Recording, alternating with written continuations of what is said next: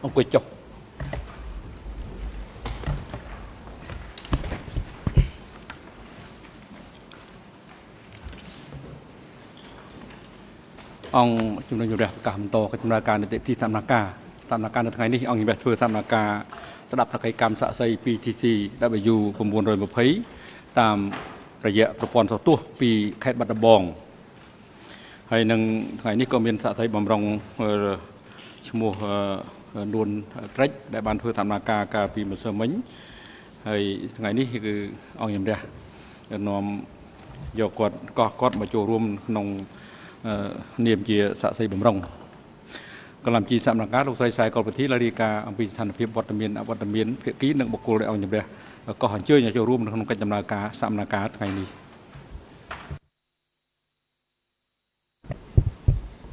សូមគោរពលោកប្រធានសម្រាប់សកម្មនាការនៅថ្ងៃនេះក្លាមជីក៏សង្កល់ឃើញ ថាគ្រប់ភាគីទាំងអស់នៃរឿងក្តីនេះមានវត្តមាន លើកលែងតែលោកស្រីម៉ារីគីរ៉ូសាក់មេធាវីនាំមុខអន្តរជាតិតំណាងឲ្យដើមបណ្ដឹងរដ្ឋបវេនីអវត្តមាននៅសកម្មនាការវគ្គទី1ព្រឹកនេះដោយមូលហេតុតខ្លួនដោយឡែកលោកនួនជា មានវត្តមាននៅបន្ទប់ឃុំខ្លួនខាងក្រោមសាលសកម្មនាការនេះដោយលោកស្នើសុំលះបង់សិទ្ធិមានវត្តមានដោយផ្ទាល់ពីបន្ទប់សកម្មនាការនៅថ្ងៃនេះ។លិខិតលះបង់សិទ្ធិរបស់លោកនួនជាបានប្រកល់ដល់កលាមជីរួចហើយហើយសាកសីដែលត្រូវផ្ដល់សក្ខីកម្មនៅថ្ងៃនេះគឺសាកសីដែលមានរហស្សនាម 2TCW 920សាកសីបានបញ្ជាក់ថាតាមសមត្ថភាពដែលគាត់អាចដឹងគឺគាត់មិនមានទំនាក់ទំនងញាតលោហិតឬញាតពុនជាមួយនឹងជនជាប់ចោតទាំងពីររូបគឺលោកនួនជានិងលោកខៀវសំផនឬភៀកគីដើមមិនដឹងរដ្ឋបវេនីណាមួយដែលត្រូវបានទទួលស្គាល់នៅក្នុងរឿងក្តីនេះទេហើយសាក់សីបានធ្វើសម្បត្តិរួចហើយ កាលពីថ្ងៃទី5ខែធ្នូឆ្នាំ2016សាក់សីនឹងផ្ដល់សក្ខីកម្មតាមរយៈប្រព័ន្ធសោតទស្សន៍ពីខេត្តបាត់ដំបង ហើយសាក់សីមានមេធាវីប្រឹក្សាគឺលោកមុំរដ្ឋាហើយសាក់សីបំរុងនៅថ្ងៃនេះគឺលោកនួនត្រិចលោកមានវត្តមាននៅបន្ទប់រងចាំរងចាំការកោះហៅពីអង្គជំរះហើយតាមការជំនុំនឹងមកគឺប្រព័ន្ធសោតទស្សបានរៀបចំរួចរាល់អស់ហើយហើយសាក់សីបានត្រៀមខ្លួនរួចជាស្រេចសម្រាប់ការផ្ដល់សក្ខីកម្មនៅព្រឹកនេះសូមអរគុណលោកប្រធានបាទអរគុណជាដំបូងនេះអង្គជំរះសម្រាប់លើសំណើសុំរបស់ជនជាប់ចោតនួនជាជាមុនសិនអង្គជំរះបានទទួលលិខិតសំលះបងទឹកចូលរួមសកម្មភាពដែលផ្ទាល់ក្នុងបន្ទប់សកម្មភាពនេះរបស់ជនជាប់ចោតនួនជាចុះថ្ងៃទី6ខែធ្នូឆ្នាំ2016ដែលបានបញ្ជាក់ថាដោយគាត់មានបញ្ហាសុខភាពឈឺក្បាលឈឺចង្កេះមិនអាចអង្គុយយូរបានមិនអាចផ្ចង់អារម្មណ៍បានយូរនិងដើម្បីមានលទ្ធភាពចូលរួមសកម្មភាពនាថ្ងៃខាងមុខឲ្យមានប្រសិទ្ធភាពខ្លួនសូមលះបង់សិទ្ធចូលរួមនិងមានវត្តមានដោយផ្ទាល់នៅក្នុងបន្ទប់សកម្មភាពនៅថ្ងៃទី6ខែធ្នូឆ្នាំ2016បានឃើញកំណត់ហេតុពិនិត្យសុខភាពជនជាប់ចោតនួនជាដែលធ្វើឡើងដោយគ្រូពេទ្យប្រចាំការពិនិត្យព្យាបាលថែទាំសុខភាពជនជាប់ចោតនៅអវតកចុះថ្ងៃទី6ខែធ្នូឆ្នាំ2016បានកត់សម្គាល់ពីស្ថានភាពសុខភាពរបស់លោកនួនជានៅថ្ងៃនេះថាមានអាការៈឈឺចង្កេះនិងវិលមុខពេលអង្គុយយូរនិងបានផ្ដល់អនុសាសន៍ថាសូមឲ្យអង្គជំរះអនុញ្ញាតឲ្យលោកនួនជាចូលរួមតាមដានកិច្ចដំណើរការសកម្មភាពពីបន្ទប់មួយស្ថិតក្រោមសាលសកម្មភាពនេះផ្អែកលើមូលដ្ឋាននេះនឹងយោងតាមបទបញ្ញត្តិនៃវិធាន815នៃវិធានផ្ទៃក្នុងអវតកអង្គជំរះអនុញ្ញាតឲ្យជនជាប់ចោតនួនជាចូលរួមនឹងតាមដានកិច្ចដំណើរការសកម្មភាពពីចម្ងាយពីបន្ទប់ឃុំខ្លួនមួយស្ថិតក្រោមសាលសកម្មភាពនេះតាមរយៈឧបករណ៍សោតួសសម្រាប់រយៈពេលសកម្មភាពពេញមួយ ថ្ងៃនេះប្រកបឲ្យបុគ្គលិកផ្នែកសោតួសជាប់ប្រព័ន្ធសោតួសសម្រាប់ជនជាប់ចោតនួនជាអាចចូលរួមនឹងតាមដានកិច្ចដំណើរការសកម្មភាពពីចម្ងាយក្នុងរំពេនៃកិច្ចដំណើរការសកម្មភាពសម្រាប់ថ្ងៃនេះ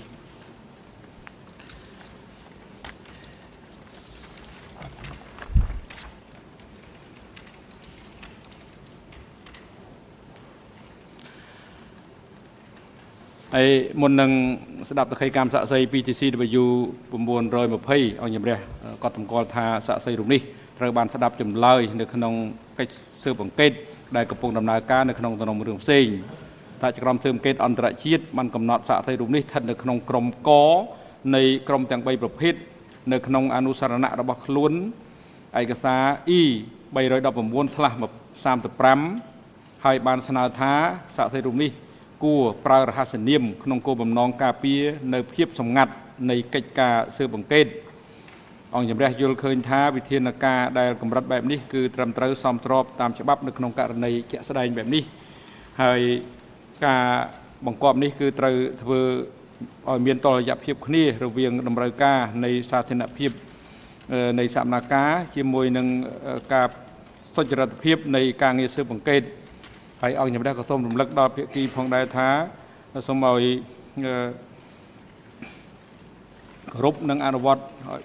ចុះជួននៅក្តីណែនាំចុះក្នុងឯកសារ E 319/7ក្នុងការប្រើប្រាស់ឯកសារដាក់បង្ហាញពីសំណុំរឿងផ្សេង។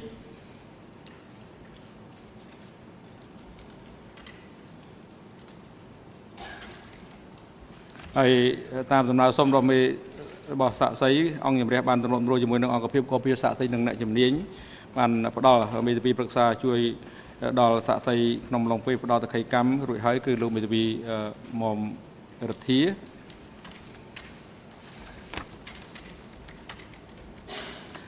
សួស្តីលោកសាក់សី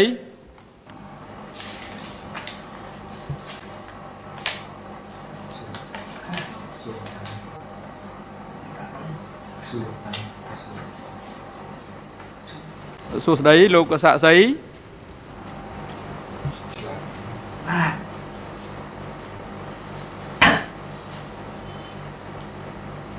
លោកសាស្ត្រីបានត្រៀមខ្លួន រួចហើយឬនៅរួចហើយរួចហើយ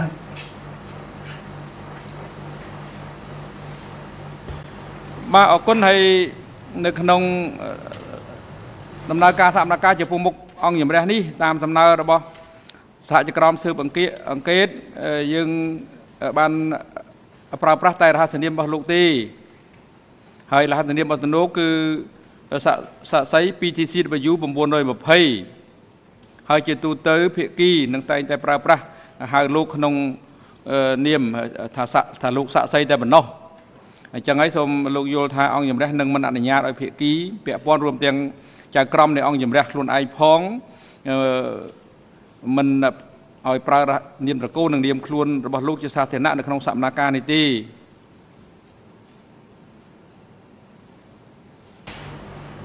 បាទហើយដោយសារតែគាត់មានអាយុច្រើន ហើយហើយស័ក្តិសិទ្ធិក៏អាចមើលឃើញនិងអាចអានអសរបានដែរតែទោះយ៉ាងនេះក្តីអង្គជំរះក៏សូមឲ្យលោកមេធាវីប្រឹក្សាលោកមុំរធាជួយគាត់ផងបើសិនបើគាត់ត្រូវការជំនួយតែបើសិនជាគាត់ត្រូវការជំនួយសូមធ្វើខ្សឹបខ្សឹបបានហើយហើយលោកមុំរធាចូលលោកហុចនៅឯកសារដែលយើងបានរៀបចំកលាមជីបានរៀបចំជូនលោករួចហើយ ជូនទៅគាត់ គឺឯកសារ E3/9473 ដែលមានលេខ UN ជាភាសាខ្មែរ0094 5416 UN ជាភាសាអង់គ្លេស00 97 69 56និង EN ជាភាសាបារាំង00 96 72 62ហើយជូនទៅសាក់សីពិនិត្យហើយសូមពិនិត្យណាហើយលោកសាក់សីសូមពិនិត្យមើលកន្លែងដែលមាន highlight ពណ៌ទឹកក្រូចថាតើត្រង់នាមត្រកូលនិងនាមខ្លួន របស់លោកសញ្ជាតិថ្ងៃខែឆ្នាំកំណើតទីកន្លែងកំណើតមុខរបរឈ្មោះឪពុកឈ្មោះ ម្ដាយឈ្មោះប្រពន្ធរបស់លោកនិង ចំនួនកូន របស់លោក ពិតជាត្រឹមត្រូវដែរឬទេហើយបើសិនលោក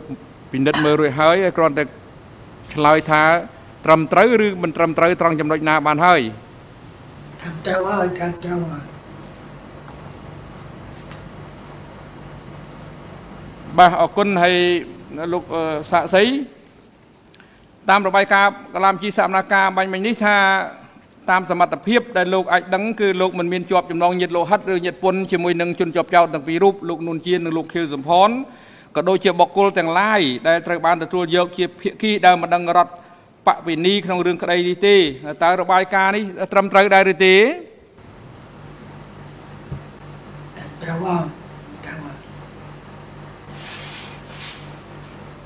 ហើយតើលោក បានធ្វើតំបត់តាមជំនឿសាសនារបស់លោករួចហើយឬនៅលោ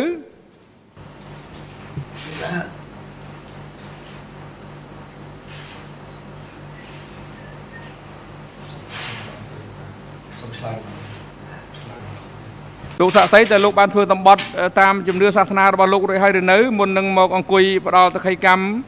នៅទីនោះបានទទួលហើយបាទអរគុណហើយជាបន្តទៅនេះយើង ប្រាប់ អំពីសិទ្ធិនិងករណីយកិច្ចក្នុងឋានៈលោក ជាស័ក្តិសិទ្ធិដែលត្រូវផ្ដល់តក្ខិកម្មដល់អង្គជំនុំជម្រះអំពីសិទ្ធិក្នុងឋានៈលោក ជាស័ក្តិសិទ្ធិនៅក្នុងកិច្ចដំណើរការនីតិវិធីសកម្មការគឺលោកអាចបដិសេធក្នុងការឆ្លើយតបទៅនឹងសំណួរឬអត្ថាធិប្បាយណាដែលនាំឲ្យដាក់វិរុទ្ធភាពលើខ្លួនឯងសិទ្ធមិនធ្វើតក្កកម្មប្រឆាំងនឹងខ្លួនឯងហើយអំពីករណីយកិច្ចក្នុងឋានៈលោកជាសក្តិត្រូវតែឆ្លើយតបរាល់សំណួរទាំងឡាយដែលភាគីរាជក្រមសួរចំពោះលោកលើកលែងតែសំណួរណា ដែលនាំឲ្យចម្លើយតបរបស់លោកឬការធ្វើអត្ថាធិប្បាយរៀបរាប់នាំឲ្យដាក់វិរុទ្ធភាពលើខ្លួនឯងហើយក្នុងឋានៈជាសក្តិត្រូវតែឆ្លើយឲ្យការណា ដែលពិត ដែលលោកបានដឹង បានឮបានឃើញបានចងចាំឬធ្លាប់មានបទពិសោធន៍ជួបប្រទះឬបានធ្វើការសង្កេតដោយផ្ទាល់នៅប្រតិហេតុនៅហេតុការទាំងឡាយពាក់ព័ន្ធនឹងសំណួរដែលភាគីសួរចំពោះលោកលោកសាក់សីតើលោកធ្លាប់បានផ្ដល់កិច្ចសម្ភាសជាមួយ នឹងអ្នកស៊ើបអង្កេត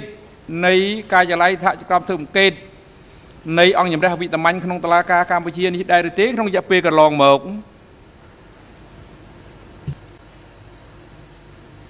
បាទហើយបានតាមដានបានស្រាប់បានតាមដានស្រាប់ដែរល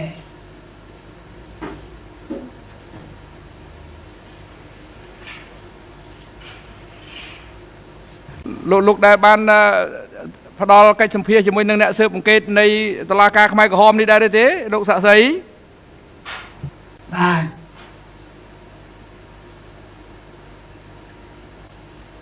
ហើយមុនមកអង្គុយនៅទីនោះតើលោកសាក់សីបានអានឬក៏បានស្ដាប់ការអានពីបុគ្គលណាម្នាក់អំពីកំណត់ហេតុដែលលោកបានផ្ដល់តខីកម្មជាមួយនឹងអ្នកស៊ើបអង្កេតកាលពីពេលពេលមុនហ្នឹងដើម្បីរំលឹកការចងចាំដែរឬទេបាទចាំបាក់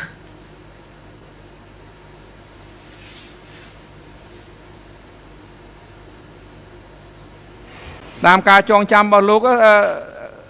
សក្ខីកម្មដែលលោកអានតាមរំលឹកការចងចាំនឹងវាសមស្របវាដូចគ្នាទៅនឹងអ្វីដែលលោកបានផ្ដល់ជាមួយនឹងអ្នកស៊ើបអង្កេតកាលពីពេលលើកមុនដែរឬទេបាទដល់ឲ្យតាមចប់បាទ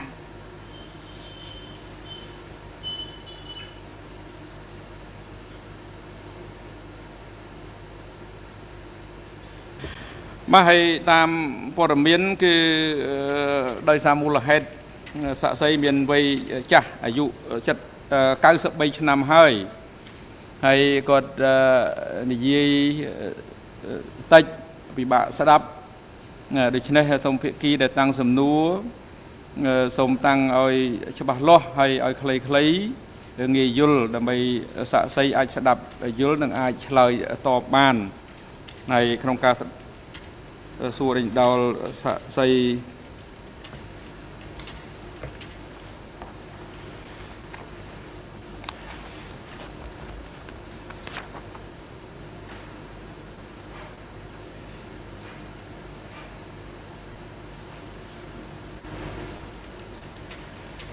រូបនេះអនុវត្តតាមបទបញ្ញត្តិនៃវិធាន91ស្ទួននៃវិធានផ្ទៃក្នុងអង្គជំរះផ្ដល់វិការជូនទៅ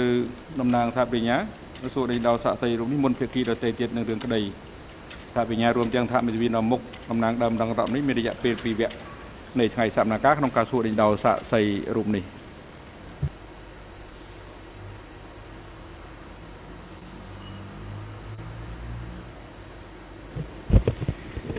នេះបងជូរ monsieur le président Bonjour monsieur le témoin mon nom est Vincent Vincent Deville le ខ្ញុំនឹងសួរសំណួរទៅកាន់លោក co-procureur ce matin Si vous ne comprenez pas une question, je vous demande simplement de répéter la question. Ce que je vous demanderai, c'est de donner des réponses concises. Si j'ai besoin de détails, je poserai d'autres questions. Donc essayez vous, de répondre uniquement et précisément aux questions qui sont posées. Et je suis bien conscient également du fait que l'effet remonte à longtemps et qu'il n'est pas toujours facile de tout se remémorer. Donc si vous ne vous souvenez pas de quelque chose, dites simplement vous ne vous souvenez pas. Alors j'ai plusieurs thèmes à aborder. Tout d'abord, euh, votre parcours général avant la prise de Phnom Penh et notamment ce que vous avez fait dans les années 50 ben. et 60 auprès de Rounim et de Ta Ensuite, j'aurai quelques questions sur vos fonctions après le 17 avril 1975 et je me concentrerai sur les arrestations qui ont eu lieu dans la zone nord-ouest avant et après l'arrestation de Vaud-Nîmes. Alors tout d'abord, concernant les années 50 et 60, pourriez-vous nous dire à quelle période avez-vous rejoint la Révolution et pour quel dirigeant avez-vous travaillé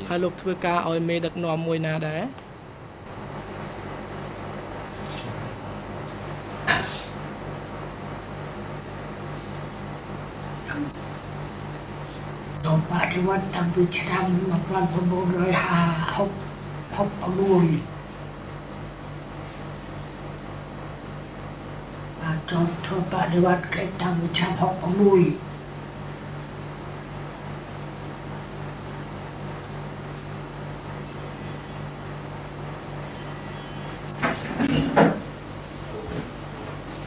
vous aviez mentionné plutôt les années 50 dans vos différentes déclarations. Est-ce que vous ne confondez pas 1966 ah, avec 1956 ah, Notamment, c'est ah, le procès-verbal d'audition E3 bar 9, 4, 7, à la réponse 2.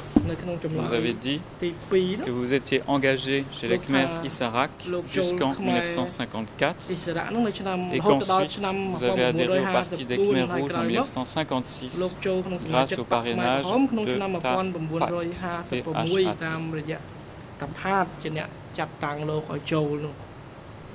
អញ្ចឹងសូមលោកបញ្ជាក់ម្ដងទៀតទៅមើល56ឬក៏65ពេលដែលលោកចូលបដិវត្តន៍នោះ ou 65 tổ tông bị Trump hại chiếm nước cư tổng số mấy Israel rồi nó bàn Trump à, học ông mua nước chung mà mà thấy rồi mà mà khao mà hôn như vậy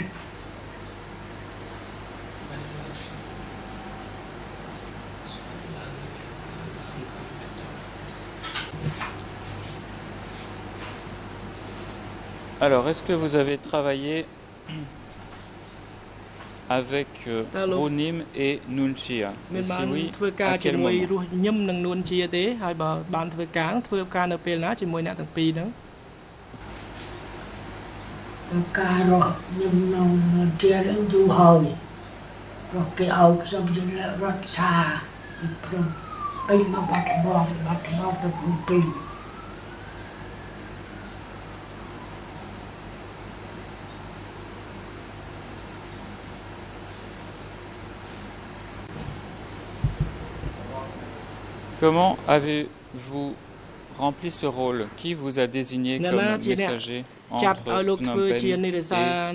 Phnom Penh et Battambang ភ្នំពេញទៅបាត់ដំបងហ្នឹងហើយកាលដល់ដែរថារស់យិញ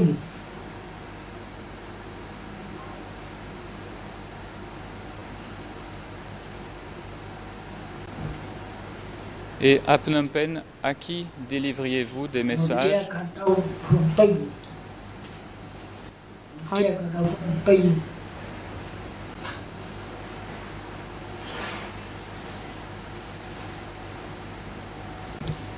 D'accord À partir de quelle année avez-vous servi de messager entre Munchia et Runim? Euh, et jusqu'à quelle période the Vietnam học ở the Vietnam luật cái xã đó tầm trăm học mùi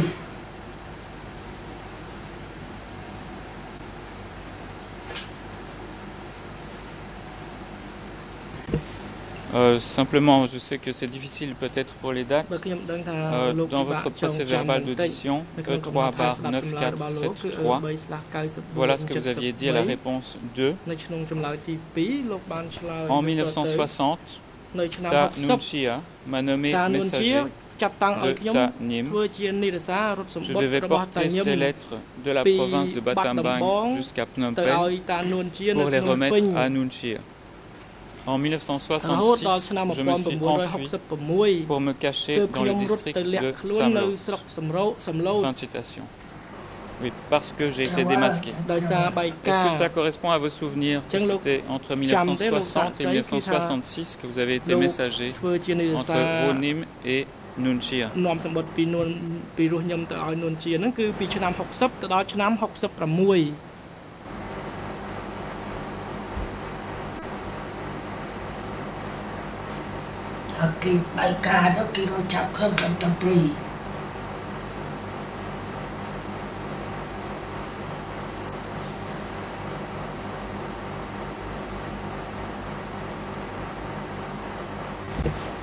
Lorsque vous avez servi comme messager de Nunchia euh, et euh, Runim, enfin plutôt messager de Runim, mais portant des messages à Nunchia, est-ce que ces deux dirigeants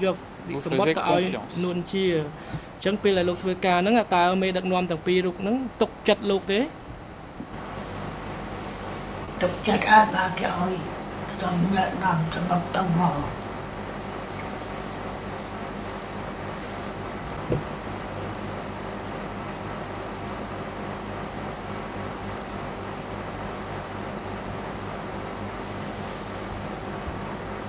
nằm 어이가 사키움 너 này 먹장 너희 그렇게로 사키움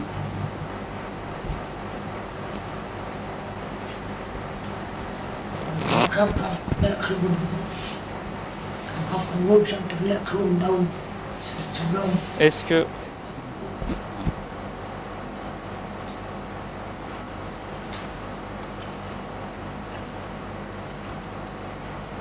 Vous bénéficiez de la confiance de Runim et de Nunchia entre 60 euh, et 66. Est-ce que plus tard, lors du régime du Kampuche démocratique entre 75 et 79, ces deux dirigeants vous faisaient-ils encore confiance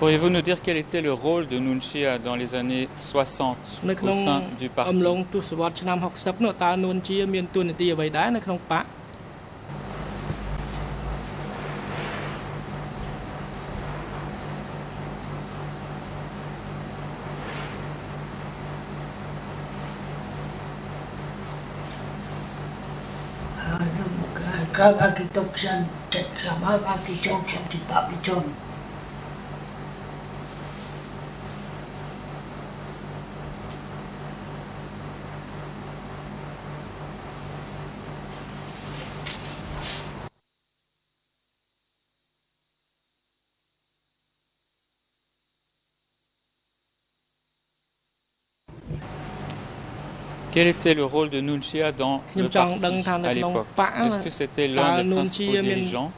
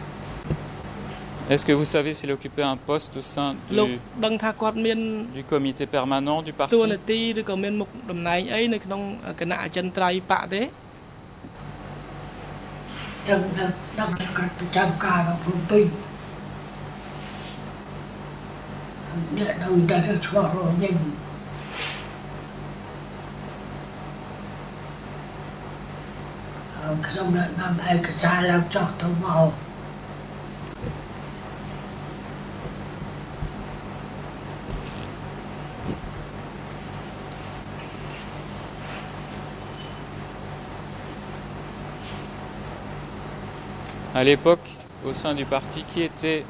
នៅសម័យនោះក្នុងបក plus haut l'un que l'autre est-ce que c'était Nuncia ធំជាងណាណានួនជាធំជាងរស់ញឹមឬក៏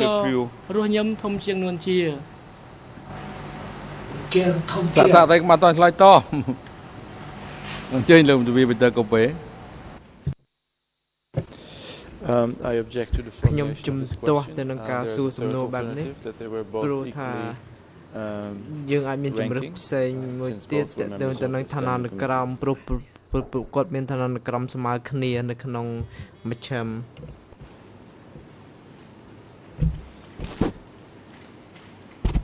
vais reformuler euh, et poser une autre question d'abord. Est-ce que vous vous avez vu Nunchia et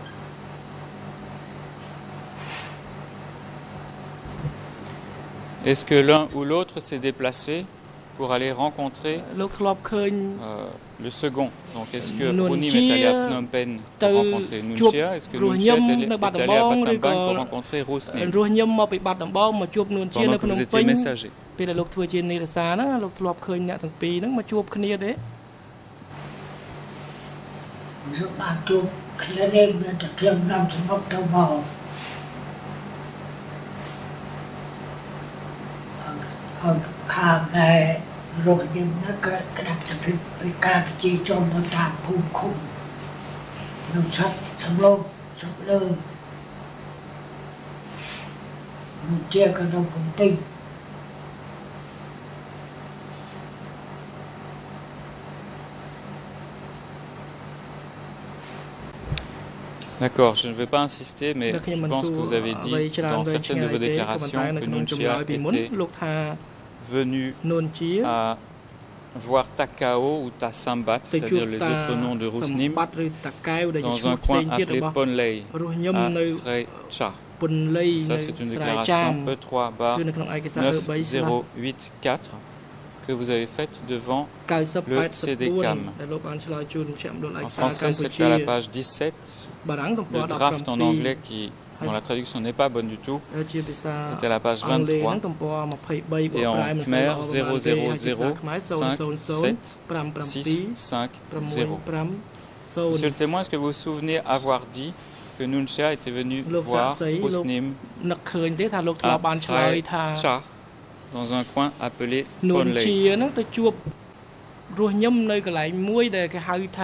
Ponlei?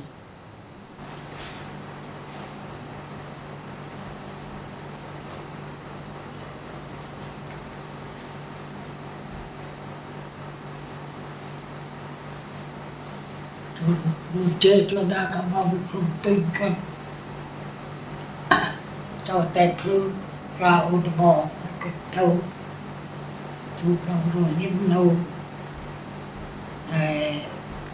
Thâu sấm lô Thâu sấm lô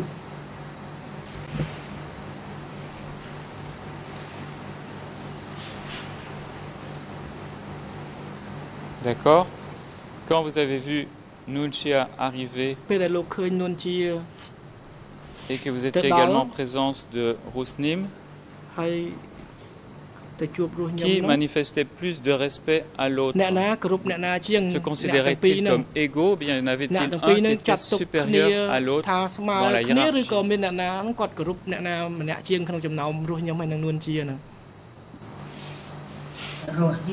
dans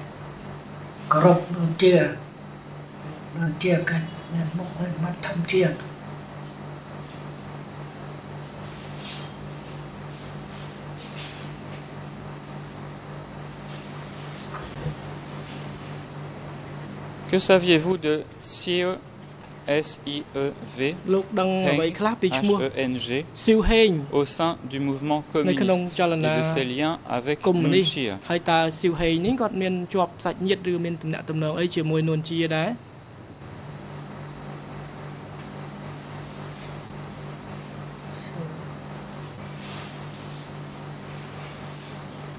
ជាកាត់អ្នកបាត់កូនដែរហើយដែរ rồi nhân quanh nội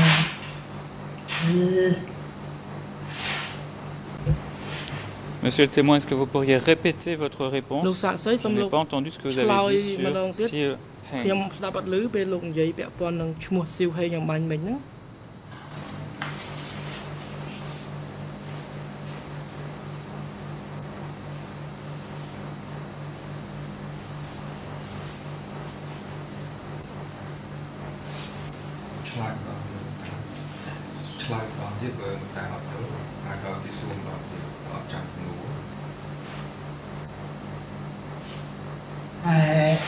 លោកតា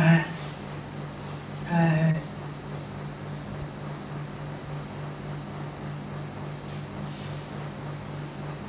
លោកជាកណ្ដុង I don't have, I don't have translation do you អើខ្ញុំស្ដាប់អត់ឮការបកប្រែទេតែលោកយកមិនដែរ Sorry, no, no, no translation. សំទោសគឺថាខ្ញុំអត់ឮការបកប្រែជាភាសាអង់គ្លេស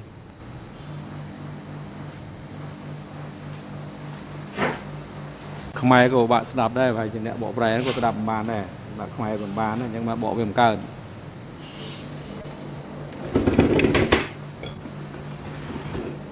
ខាងសោតួអាចតម្លើងសម្លេងបន្តិចជាងនេះបានទេឬក៏គាត់ប្រត់ដែលថាខៃកម្មមកពិបាកស្ដាប់ស្ដាប់អត់បានណាហើយសម្រាប់រួលយ៉ាងម៉េចជាមួយនឹងខាងនោះដើម្បីឲ្យគាត់នៅខិតចិត្តជាមួយនឹងឧបករណ៍ផ្ដល់សម្លេងបញ្ជូនសម្លេងមកនឹងបានអាចដោះស្រាយបាន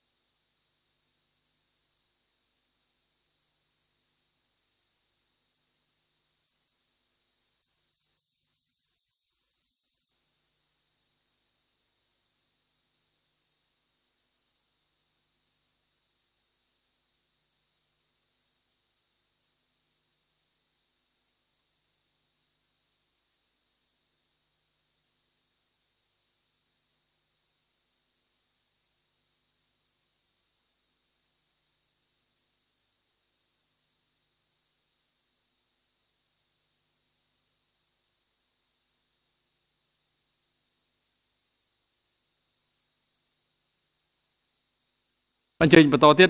តាំងទំនួលចុងក្រោយរបស់លោកសាជាថ្មីម្ដងទៀតថាប្រញ្ញារងអន្តរជាតិ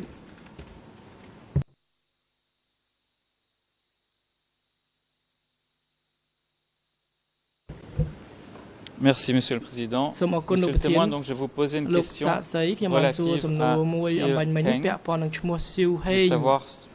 ce que vous saviez de, de lui au sein du mouvement révolutionnaire, ainsi que de ses liens ហើយខ្ញុំចង់ដឹងថាតើស៊ីវហេងហ្នឹងត្រូវជាអ្វីជាប់សាច់ឈាមអីជាមួយនួនជាសូមលោកឆ្លើយម្ដងទៀត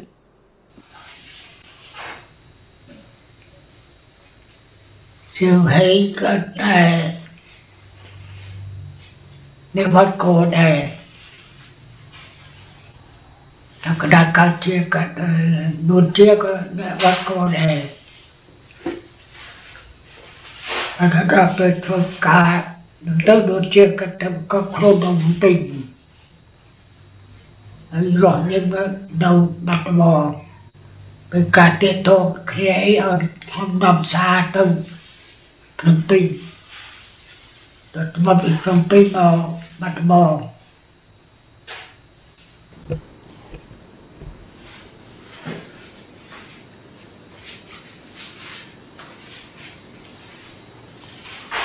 D'accord, nous n'avons pas eu l'interprétation de ce que vous avez dit sur Heng, mais je vais vous lire ce que vous avez dit devant le CDCAM, document E3 9084, e la page 8 en français,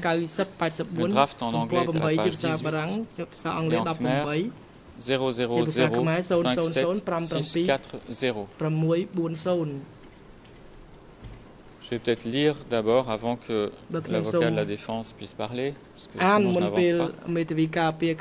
Vous avez dit ceci, monsieur le témoin. Siu Heng. ស៊ីវហេងបាទមិនមែនជាការចំទាស់ទេដោយសារតាមព្រះដំណាងសាព្រះញ្ញាថាអត់បានឮការបកប្រែអញ្ចឹងខ្ញុំសូមបញ្ជាក់នៅខ្លឹមសារដែលសាក់សីបានបញ្ជាក់អំបញ្ញមិញគាត់ថាស៊ីវហេងហើយនឹងនួនជា Merci.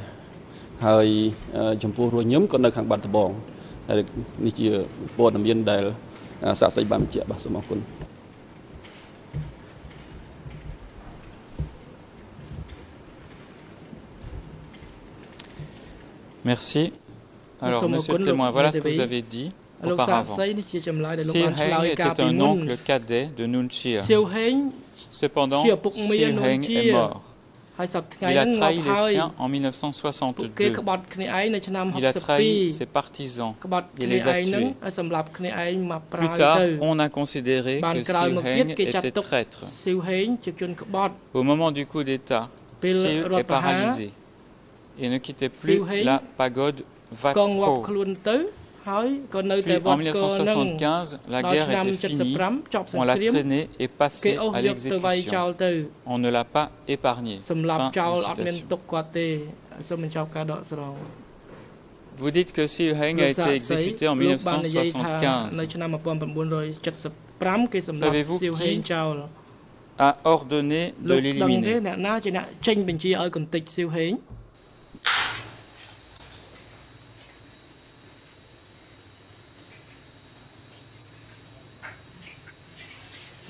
ដឹងចេតនាគេជាគេប្រថា ពួកគ្នាគេធ្វើការជាមួយគ្នាមើលណាក្បត់គេស្លាប់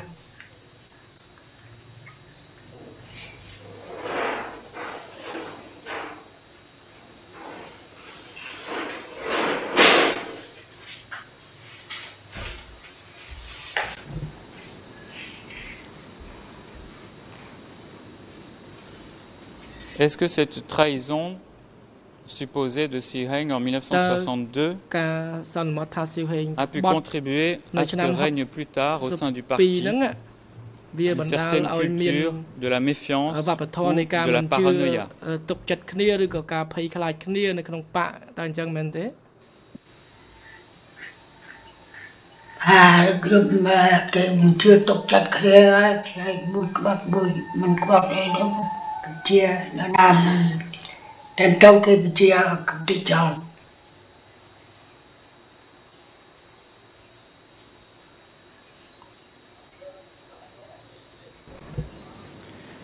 avez dit tout à l'heure qu'après avoir été messager jusqu'en 66, vous vous êtes caché. Euh, euh, Quand êtes-vous revenu au sein des rangs révolutionnaires Est-ce que vous avez rejoint à nouveau les rangs ជួបបដិវត្តនៅពេលណាតើលោកមកចូលជួបដិវត្តវិញហ្នឹងមុនថ្ងៃទី17មេសាឆ្នាំ1975ឬក៏ពេលណាផ្សេងរហូតចំដល់ដល់ពីរហើយក៏នៅតែជាប់ទៅអ្នកទំនោរគ្នាចឹងហើយគេមកចាប់ខ្លាំតាមទៅដល់ពីរហើយនៅក៏ខ្ញុំមិនចូលការងារទាំងទីតោកដែលជាប់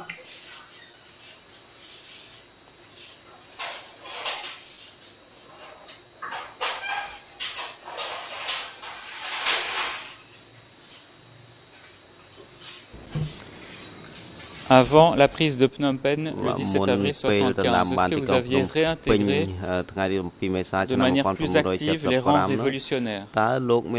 que vous êtes sorti de votre maquis ou de votre position euh, de citoyen normal លោកត្រឡប់ពីព្រៃមកវិញលោកនិយាយថាលោករត់ពួននៅក្នុងព្រៃហើយពេលត្រឡប់លោកត្រឡប់មកវិញហ្នឹងតើលោកចូល ទៅក្នុងជួរ ដែលមានសកម្មភាពខ្លាំងជាងមុនទេមានតំណែង ធំជាងមុនទេ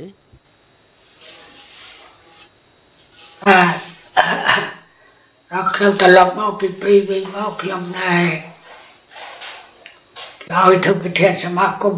សាលារៀនហើយរៀបចំសាលារៀនក៏ឃើញរៀន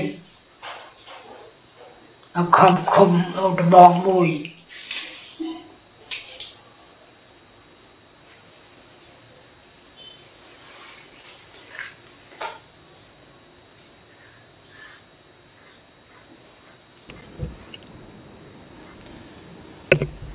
Après le 17 avril 75, est-ce que vous avez occupé un poste à responsabilité, notamment au sein de votre commune de Odambang-Moy ខ្ពស់ណាមុខតំណែងទទួលខុសត្រូវណាមួយទេឧទាហរណ៍ដូចជានៅឃុំអូដំបងអីជាដើមមួយឃុំអូដំបងមួយបាទ75ទៅឃុំអូដំបងមួយ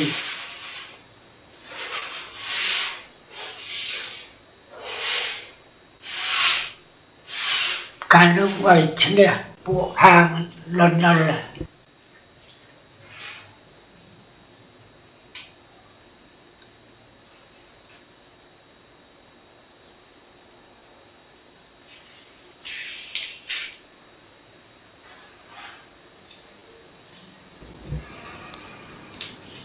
Alors, vous avez déclaré devant le CDCAM, le 3 bar 9084, page 35 en français, 48 euh, en anglais, Khmer 000576706 La question qui vous est posée est la ah, suivante. Question de euh, Dany. Après la chute de Phnom Penh en 1975, vous a t nommé euh, immédiatement chef de coopérative de haut លោកត្រូវបាន គេតែងតាំងទៅជាប្រធានសហគមន៍អូនដំបងចំឡាយបានហ្នឹងហើយពីដំបង à la région 4ហើយពីដំបូងនៅក្រោមតំបន់4ហើយបន្តមកទៀតលោកឆ្លើយថាក្រោយមកគេបញ្ចូលបញ្ចូលសហគមន៍ហ្នឹងទៅតំបន់3វិញ coopérative de Oudambang អញ្ចឹងតើលោកធ្វើជា ប្រធានសហគមន៍នៅអូដំបងដែរទេពីមុនមក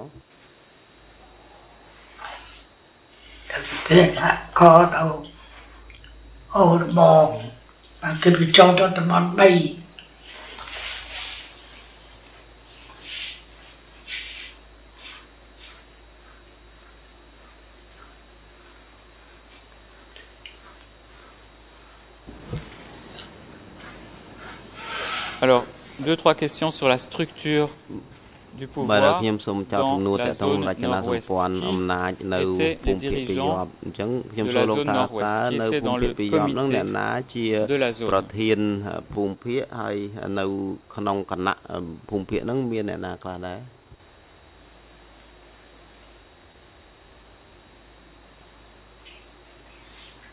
អាភូមិភាគទៅតំបន់3មកតារត់ញៀនមកកាត់យកក្តាប់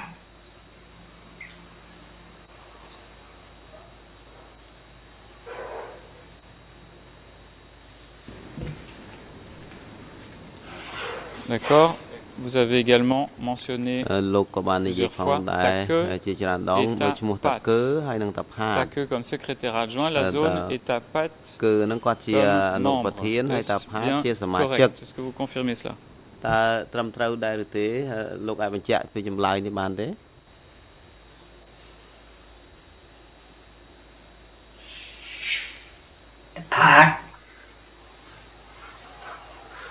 พาก็เตากับปกรตัวเดตีเอาเขียมมือกาเขาเตาแล้วเขาเอาตะบอก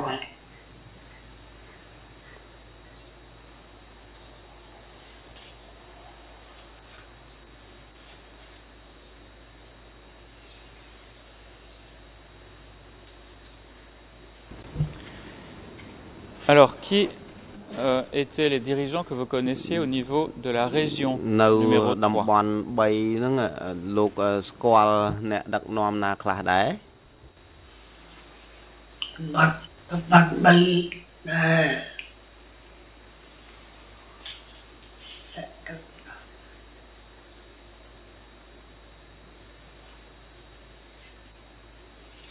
Các bạn đặt từ te...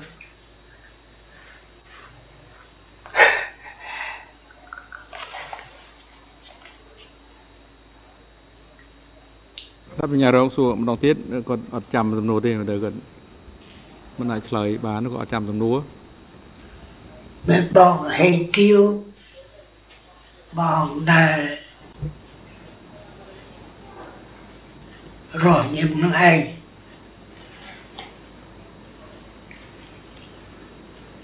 ក៏ដាក់ខាង Monsieur le témoin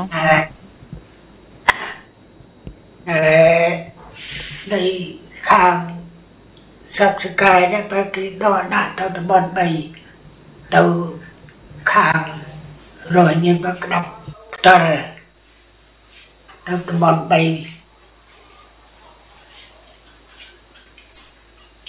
ចាប់ហៅសត្វស្កាយទៅដីតំបន់3ទៅវិញ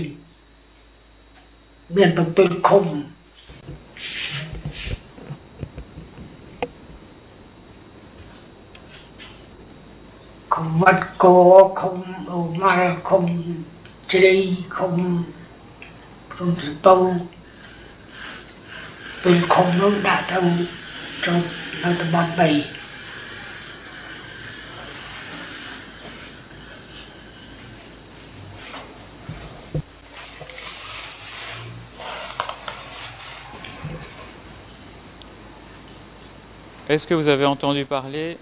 Ta dirigeants au niveau du secteur 3 euh, Ta Cham et au niveau du district de Phnom tout cas vous avez mentionné leur nom dans votre procès verbal euh, e à la réponse 9 473ចម្លើយទី9លោកបាននិយាយពីឈ្មោះគាត់តាំងពីនេះគឺលោកមាននិយាយពីឈ្មោះតាឆាំហើយនិងតាហ៊ឿនហ្នឹងតើលោកចាំឈ្មោះគាត់តាំងពីហ្នឹងទេតាឆាំអត់តាហ៊ឿនហ្នឹងគេហើយក៏គេអត់ចេញតាឆាំ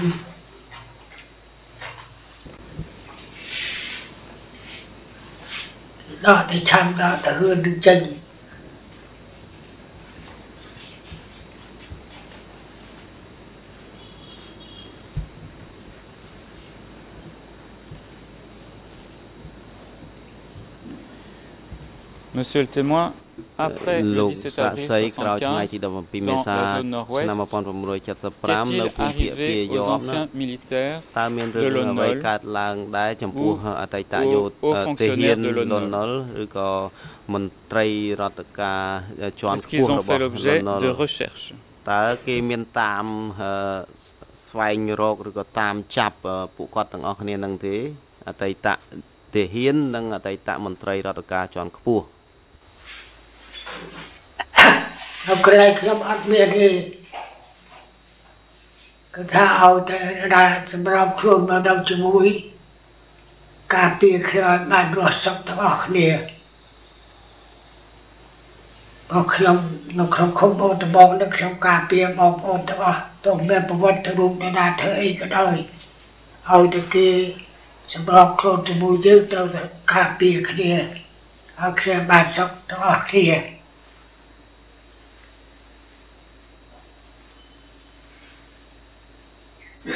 ដោយឡែកតែកន្លែងផ្សេងផ្សេងដូចថាតំបន់4ទៅកើតកើតដល់នឹង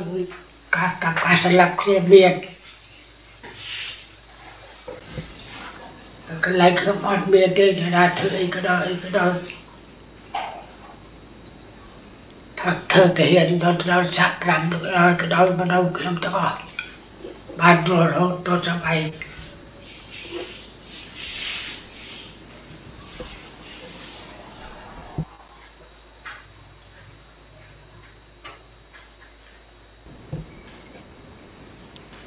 Donc en dehors de votre localité, j'ai bien compris que vous aviez certaines personnes. En dehors de votre localité, est-ce qu'il y a eu recherche systématique des anciens militaires gradés de l'ONOL et des anciens fonctionnaires de l'ONOL Et si oui, euh, sur quels ordres, sur les ordres de qui cela a été fait គេទទួលបញ្ជាពីអ្នកណាដែរឲ្យតាមរកអតីតទាហានលន់ណុលហើយនឹងអតីតមន្ត្រីរដ្ឋការលន់ណុលនេះខ្ញុំអត់មានអ្នកធ្វើការអីក៏ដោយមកនៅជាមួយខ្ញុំបានសុខទាំងអស់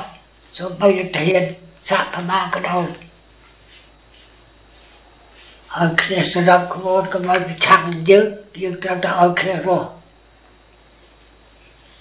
ở trên ấy kịp xây xây xong đăng kia được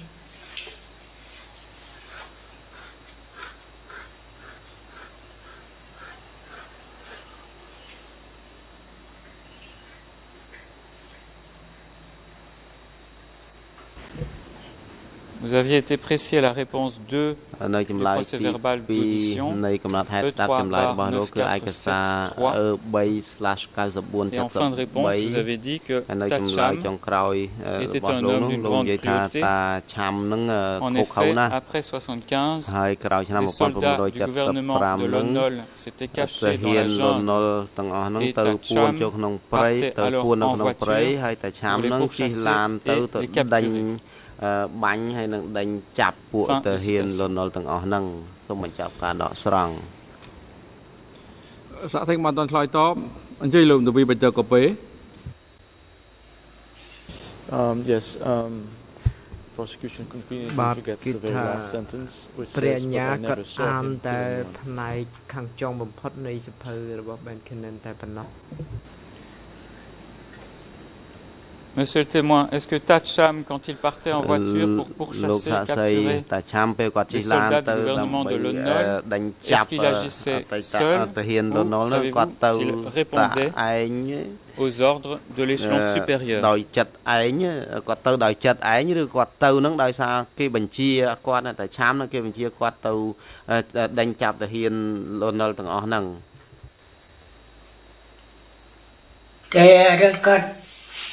จัดกัดกัดกราบกดรัวจับไก่ปูหอนึงตอวสวามเล็กรูดของพระสงฆกกดรัวจับตัวตามนักกิ้างก็จัด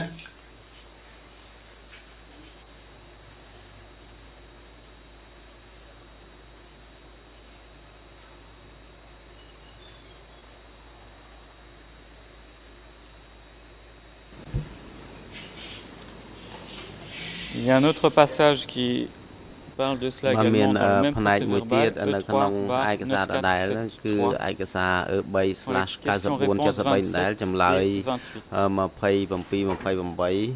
Et vous dites que vous deviez rendre compte en tant que chef de la commune de Haut-Dambagne, Moï, à Tahun.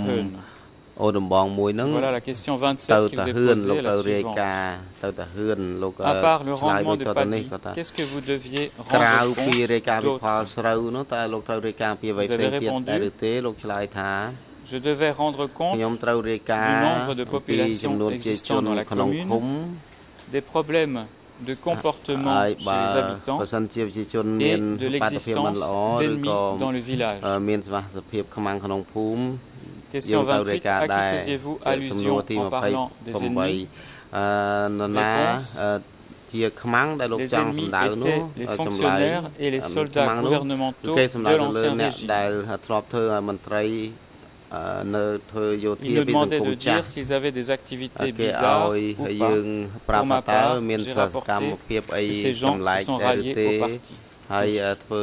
យ៉ាងណាឲ្យ ពួកហ្នឹងមកសម្របសម្រួលមកតាមបាក់យើងវិញទៅ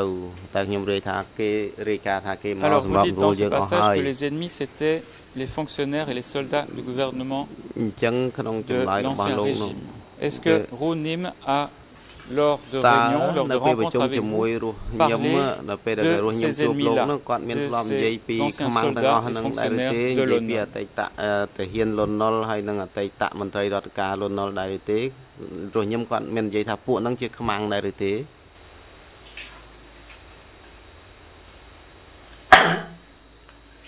ខាតខ្ញុំឲ្យតែ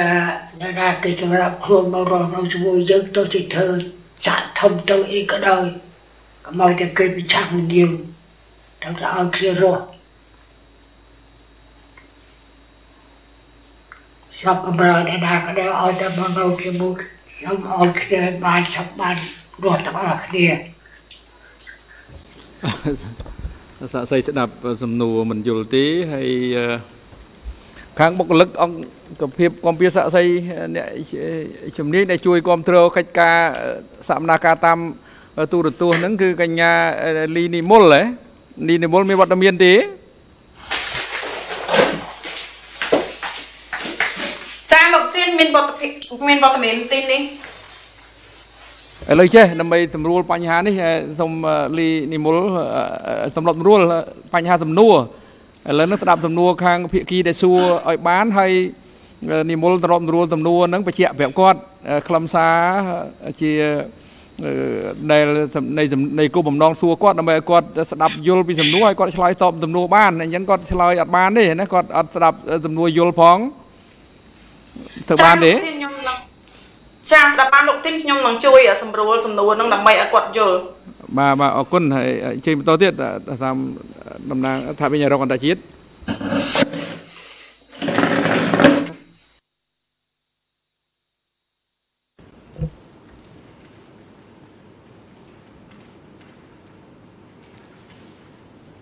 Merci. Alors, encore une fois, je ne m'attardais pas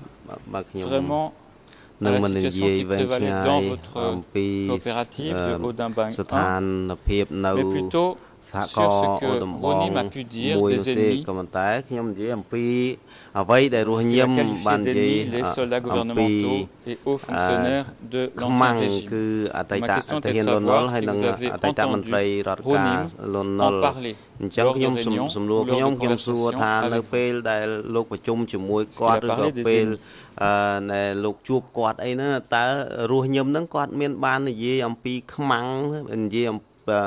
និយាយថាតាហ៊ាន អតីតតាហ៊ានលន់នុលហើយនឹងអតីតមន្ត្រីរដ្ឋការលន់នុលនឹងជាខ្មាំងដែរឬទេលោកតា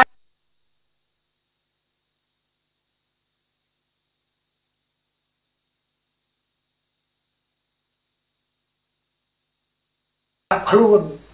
មករងនៅជាមួយយើងគេមិនប្រឆាំងយើងអត់ដែរគេសួរថានៅពេលដែលលោកលោកតាជួបមន្ត្រីមិនជួបរស់ញឹមតើគាត់មានបាននិយាយថាមន្ត្រីផ្សេងផ្សេងទៀតជាខ្មាំងអត់គេបាននិយាយថាមន្ត្រីផ្សេងផ្សេងឬក៏អ្នកណាផ្សេងនេះជាខ្មាំងអត់អត់ទេគាត់និយាយឲ្យតែគេចរកខ្លួនមករស់នៅជាមួយយើងគ្រប់យើងទៅតាមយើងមកតែគេប្រឆាំងនឹងយើងអានោះក៏ឲ្យគ្នារស់ទាំងអស់គ្នាព្រោះយើងចាស់ចុកមកហើយធ្វើនោះនោះធ្វើនេះបងឡាយតែសម្លាប់គ្នាអស់ហើយអាខ្លែងផ្សេងផ្សេងខ្ញុំដឹងទេណាអាខ្លែងផ្សេងផ្សេងហៅត្បង4ត្បង4នេះក៏នៅ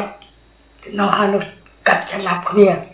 អានោះខឹងវាកាលសម័យពីសង្គមប្រៅវាឲ្យធ្វើពិធីធ្វើបោះធ្វើបងឥឡូវត្រឡប់មកបដិវត្តអញកាត់អាយចោលកាត់គ្នានេះមានកន្លែងខ្ញុំអត់មានទេសំណួរសួរចេះទេសួររឿងបញ្ហាដែលលោកដែលស្ដាប់ឮការនិយាយជាការប្រជុំប្រាប់និយាយប្រាប់ឬក៏ជួបផ្ទាល់ជាឯកជនរវាងលោកសាក់សីជាមួយនឹងរស់ញឹមតើគាត់ដែរនិយាយពីបញ្ហាវិធានការនៃការកំណត់ថាជាខ្មាំងបដិវត្តហើយចាត់វិធានការកំទេចចំពោះខ្មាំងទាំងអស់នោះទេជាពិសេសអតីតអ្នករដ្ឋការលន់នល់ទាហានលន់នល់អីចឹងណាដែលដែលដែលរស់ញឹមដែលនិយាយទេមិនមែនលោក ទេមិនមែនលោកធ្វើខ្លួនឯងទេរស់រឿងរស់ញឹមនិយាយពីបញ្ហានេះអត់មែនទេក៏អត់ថាទេបើតែគេសរោបខ្លួនរស់ជាមួយយើងឲ្យគ្នារស់ទៅព្រោះវាច្រើនចំនួនមកយ៉ាងនេះធ្វើនោះធ្វើនោះធ្វើនេះបើរវល់តែរស់ធ្វើនោះរស់ធ្វើនេះយើងខ្ញុំអត់ស្លាប់អស់បាទបានតែប៉ុណ្្ណឹងអត់ជើញតទៀតមានរងអន្តរជាតិមើលបោះសាក់ប្រាំឡើយចេះទេដើម្បីនេះក៏យើងបានរំលឹកឲ្យទៅទួខ្លីៗទៅឲ្យលោកកណារៀបរាប់អត្ថាធិប្បាយហ្នឹងគឺធ្វើឲ្យអ្នកខាងនោះក៏ស្មុគស្មាញដែរដោយសារខ្លឹមសារនៃអត្ថាធិប្បាយរបស់លោកលោកសួរជាក់លាក់ទៅសំណួរសួរខ្លីហ្នឹងទៅបានហើយ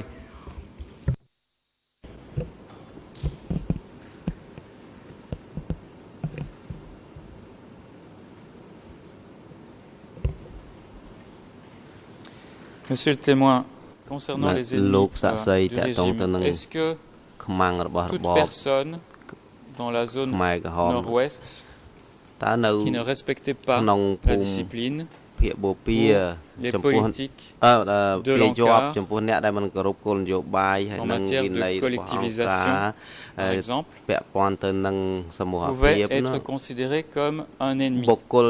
ដែលជំទាស់ទាំងអស់ហ្នឹងដែលមិនគោរពវិន័យគោរពអីទាំងអស់ហ្នឹងគេ គេចាត់ទុកគាត់នឹងជាខ្មាំងដែរឬទេតើស្អាប់សំណួរយល់ទេហើយតែគេចរោខ្លួនគេមកវិឆាំងយើងវាចាត់ទុកជាជាជនរបស់យើងទាំងអស់គ្នាហើយខ្ញុំនិយាយទៅកន្លែងខ្ញុំទេអាកន្លែងផ្សេងខ្ញុំមិននិយាយទេលោកតាសំណួរសួរថាពួកខាងពីរយប់អឺលោកតាស្ដាប់សំណួរយល់ទេអូ D'accord.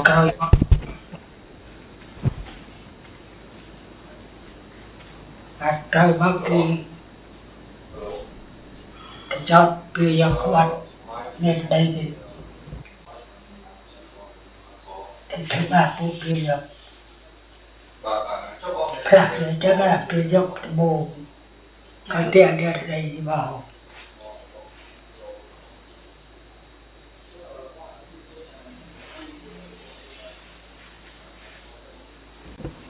D'accord, ma question était plus générale. Mais pas, nous, ceux qui acceptaient que la soit ou les ordres de l'encar, mais plutôt ceux qui s'opposaient à l'encar, que ce soit chez vous, dans votre secteur, ou plus généralement dans d'autres secteurs de la zone nord-ouest. Qu'arrivait-il à ceux qui s'opposaient ចំពោះអ្នកដែលមិនគោរពបញ្ជាឬមិនគោរពវិន័យអង្គការហ្នឹងតើមានរឿងអីកើតឡើងចំពោះពួកគាត់ទេអ្នកមានកន្លែងផ្សេងផ្សេងខ្ញុំមានថារឿងដែលពីបានត្រូវកន្លែងខ្ញុំអត់មានទេលោកតាសំណួរសួរថានៅក្នុងតំបន់របស់លោកតាប្រសិនបើมันមានអ្នកគោរពវិន័យទេគេនឹងមានពិធានការអីអត់គេនឹងធ្វើអីចំពោះគាត់អត់ប្រសិនបើគាត់មិនគោរពវិន័យនៅក្នុងតំបន់របស់លោកតាអត់មានទេតែគ្រាមកទៅគ្រាសម្រាប់ខ្លួនតាចង់អត់បាទសូមដូចទៅហ៊ានឆ្លាក់ក្បាលលើនៅក្បាលក្រោយហើយមិនឲ្យយើងសម្រាប់ខ្លួនតាយើងគឺអត់ប្រឆាំងយើងយើងត្រូវការពារគ្នាឲ្យបានរស់ទាំងអស់គ្នាទៅ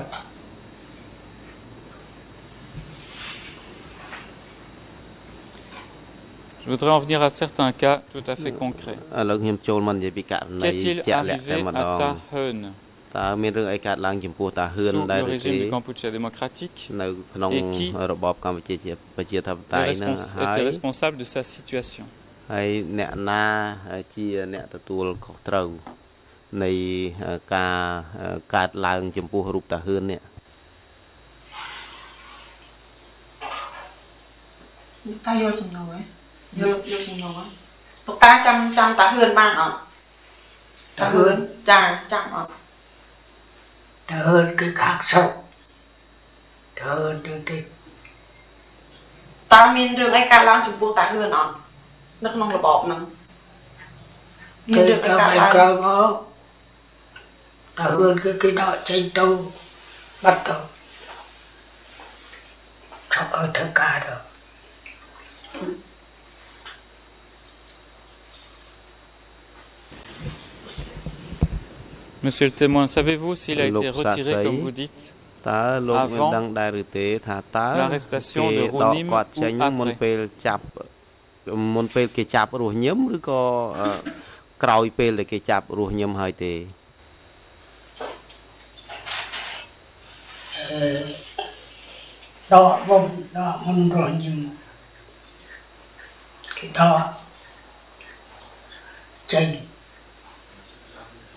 ដកមុនរាល់យ៉ាងក៏ដាក់ដកមុន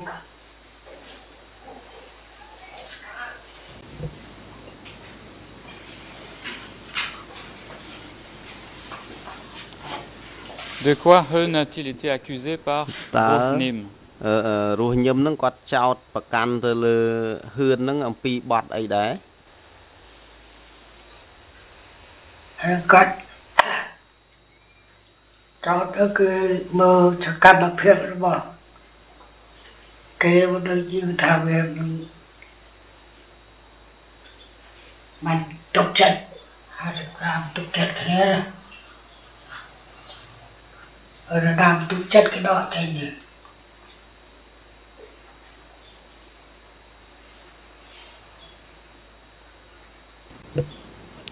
Savez-vous où Ronim a envoyé bah, un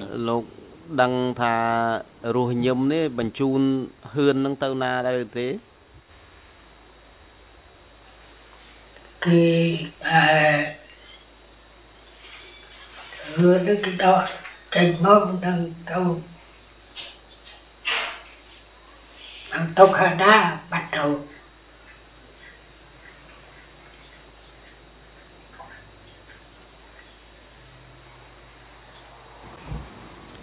à la réponse 10 de votre procès verbal d'édition E3 bar 9473 vous euh, aviez dit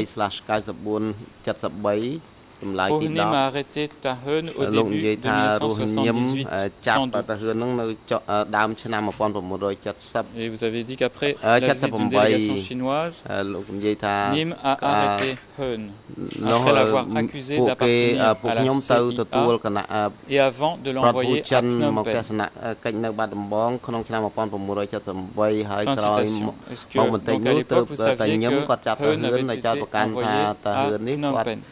ជា CIA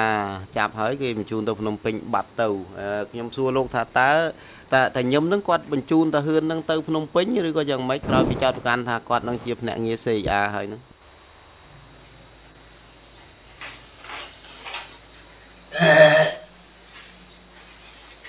ទៅហ៊ឿននឹងទៅតចេញពីនឹងទៅ បាត់ទៅទៅខាងណាយកទៅបាយចោលហ្នឹង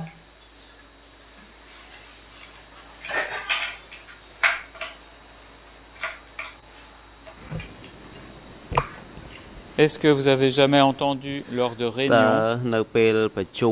Ronim ou d'autres cadres dire que Tahun avait trahi la révolution បដិវត្តដែរឬទេมันลือเยอะแต่มันทางสัตว์ที่ทอใจตะบัดเถอะ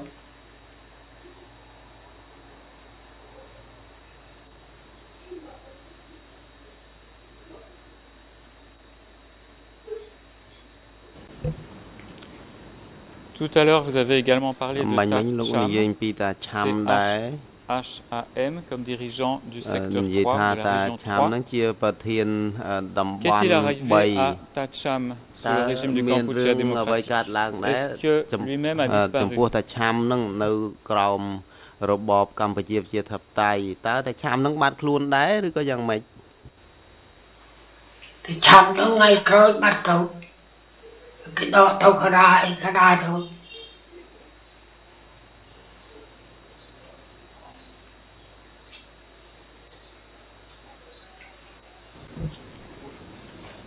Est-ce que Tacham a été arrêté avant ta, ou après que Runim cái chập ta chăm môn ta ruh nhâm rồi có cái chập ruh nhâm môn ta chăm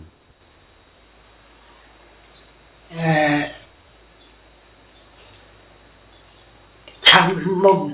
បំរោះញឹមតក់ខ្លួនបាត់ទៅទៅខាងណាតើលោក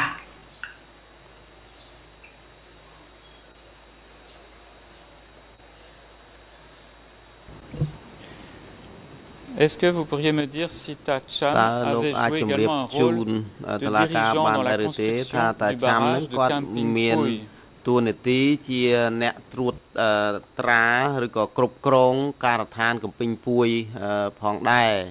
តែអញ្ចឹងមែនទេកំពីតនុកពីពួយយកទៅតាមតាក៏ផ្សេងផ្សេងទេតាឆាំនឹងគាត់មានតួនាទីគ្រប់គ្រងតំបន់កំពីពួយនឹងអត់អត់ទេអត់ទេ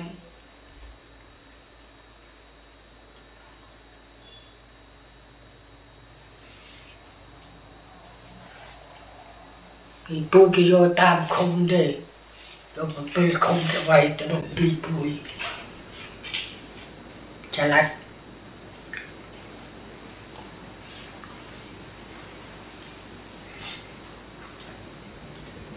J'ai une autre question. Une autre question à propos d'un dénommé euh, Tangon. Gon. N-G-O-N. Euh, và một tầng Est-ce que vous connaissiez un dénommé Tangon Tầng Won men squal qui avait des fonctions apparemment dans l'armée ờ, cả nó quát đôi chi ờ, nè thơ chi vô thi ờ, phung phi lục squal tầng Won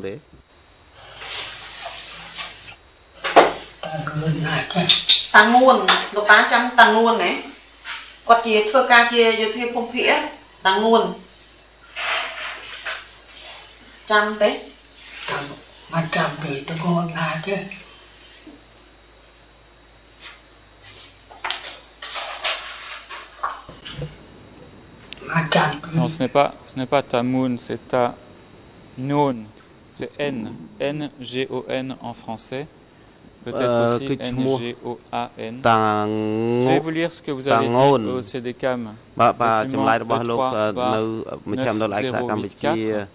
គឺឯកសារ E3/9089 ទំព័រជាភាសាបារាំង40ទំព័រ40 41ហើយជាភាសាអង់គ្លេសគឺទំព័រ54ជាភាសាខ្មែរគឺ00057676ទៅដល់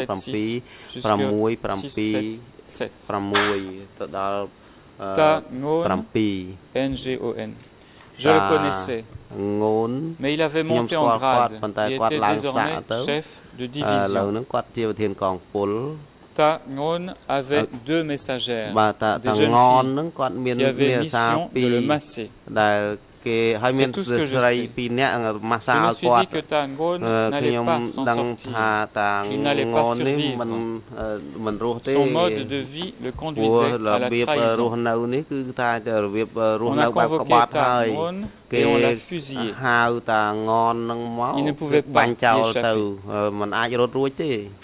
Question. Est-ce que euh, était-ce Tanim qui l'a euh, fusillé Ce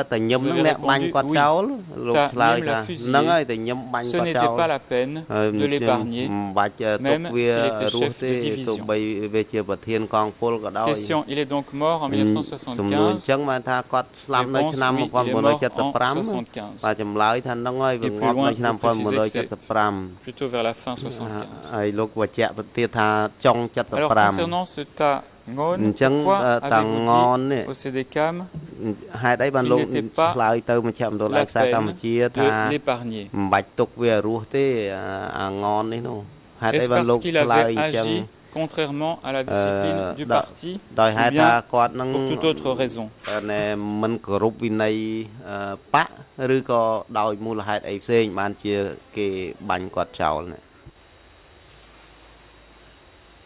លោកតាចាំតងណាលោកតា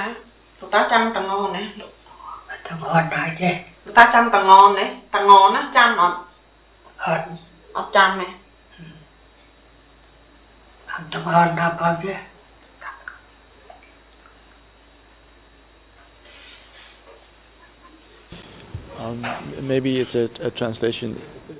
គិតថាប្រហែលជាមានបញ្ហាបកប្រែ I heard prosecution say that he was a division commander ខ្ញុំឬព្រះអាញានិយាយថាជាមេបញ្ជាការកងពលធំប៉ុន្តែភាសាអង់គ្លេសរៀបរាប់ថាជាប្រធានកងទៅវិញ so I don't know maybe in French it's different ដូច្នេះខ្ញុំមិនដឹងថាដោយសារតែបញ្ហាភាសាបារាំងអង់គ្លេសនោះទេប៉ុន្តែបើភាសាអង់គ្លេសគឺថាជាប្រធានកងទេមិនមែនជាប្រធានកងពល ដែលជាជាផ្នែកធំបំផុតរបស់យោធានោះទេ Bien, de toute, je pense que la, le brouillon en anglais n'a pas été ការបកប្រែជាឯកសារព្រៀងនឹងជាភាសាអង់គ្លេសនឹងមិនមែនជាអ្នកបកប្រែអាជីពទេបកនោះអញ្ចឹងយើងមិនអាចនៃទុកចិត្តការបកប្រែជាភាសាអង់គ្លេសទេពីព្រោះគ្រាន់តែជាណែប្រុយយ៉ងតែប៉ុណ្្នឹងទេអាចសាព្រៀងទេឥឡូវឲ្យឲ្យលេខអិនជាភាសាខ្មែរឲ្យខ្ញុំមកច្បាស់មើល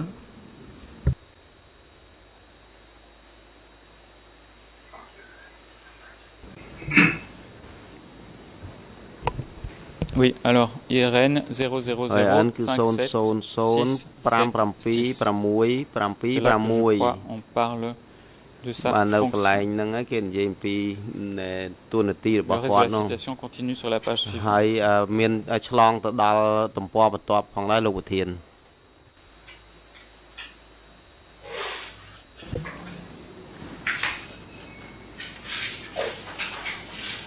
មើលខាងមិនខាងអន្តខាងជាតិមើលយ៉ាងម៉េចចឹងខ្ញុំដូចមិនត្រូវគ្នាមិនត្រូវគ្នាទេនេះលីអនហ្នឹង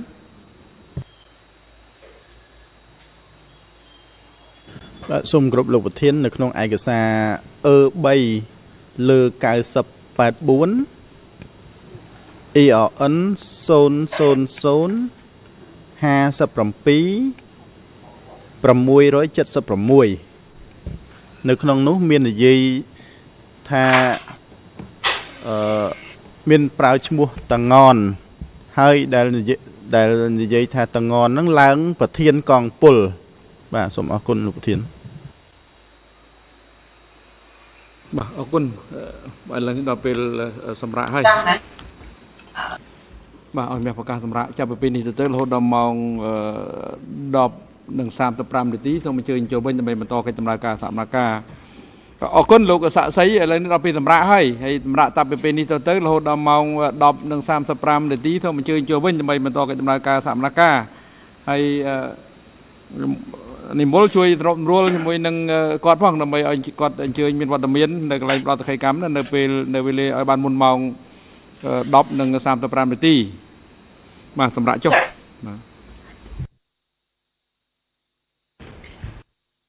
សូមអញ្ជើញក្រោកឈ